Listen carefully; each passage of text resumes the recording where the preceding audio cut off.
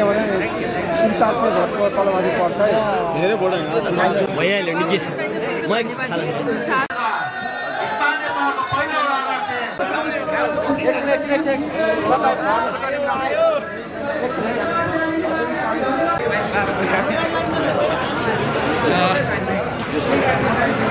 हाम्रो गाडी थोरै अगाडि गर्दैछौँ हामी।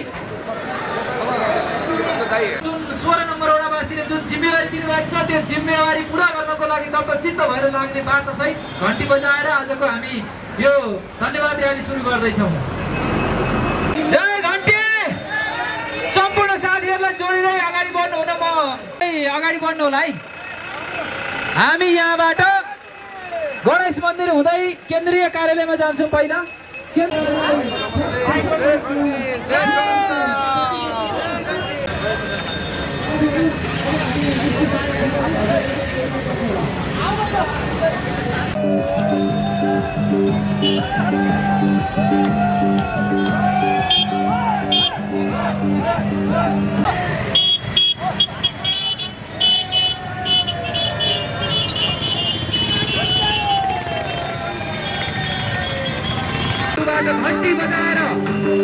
त मी बो प्यारो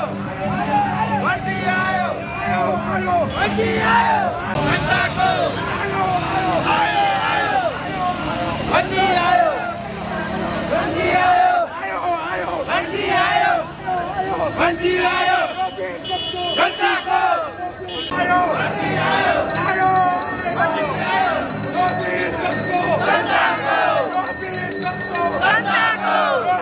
सतो हज़ारतो हज़ार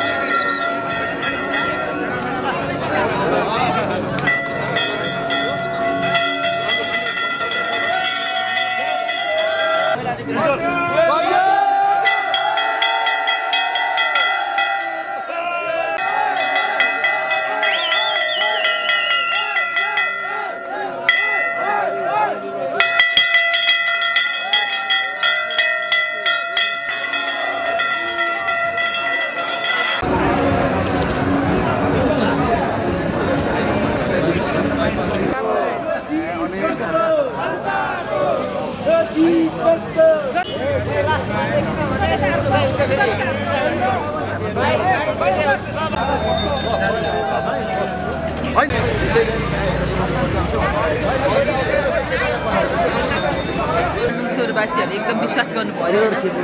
विश्वासले उहाँ उहाँको आफ्नो विश्वासले मलाई मत दिएर विजय गराउनु भयो उहाँलाई धेरै मेरो एजेन्डा भनेको उहाँले जुन वडामा जुन अहिले भोगिराख्नु भएको छ उहाँ त्यो सबै म चाहिँ उहाँहरूको दुःखहरूमा उहाँहरूको साथ लिएर चाहिँ म अगाडि चाहन्छु।